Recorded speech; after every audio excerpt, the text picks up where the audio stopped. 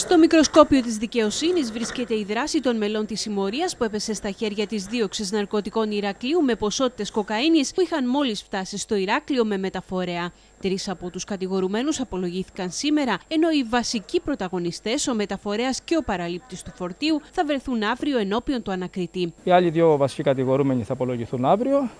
Ο ένας που απολογήθηκε σήμερα εκ των κατηγορουμένων αφέθηκε ελεύθερος και ο άλλος κρατείται. Ο κατηγορούμενος που νοσεί από κορονοϊό αφέθηκε πρώτος ελεύθερος, καθώς το επιβλήθηκε ο όρος της απαγόρευσης εξόδου από τη χώρα. Ο άνθρωπος θα πάει σπίτι του ε, και ε, φυσικά θα συνεχίσει ε, αυτό που υποστηρίξαμε. Αυτός ο άνθρωπος έχει ε, πλέον ε, ορθοποδήσει εδώ και πολλά χρόνια, είναι εκτός των ναρκωτικών ουσιών, δεν είχε απολύτως καμία σχέση, απολύτως καμία ανάμειξη με τη συγκεκριμένη υπόθεση και καμία απολύτως γνώση. Ελεύθερος αφέθηκε και ο Αλβανός που περίμενε έξω από τη Γιάφκα στα Δειλινά για να παραλάβει ποσότητες κοκαίνης με τελικούς παραλήπτες στην πελατεία του. Αφέθηκε ελεύθερος με περιοριστικούς όρους, απαγόρευσης εξόδου και το παρόν κάθε 15 μέρες στην αστυνομική διεύθυνση ε, ισχυρίστηκε ότι δεν είχε προβεί στην αγορά των ναρκωτικών ουσιών.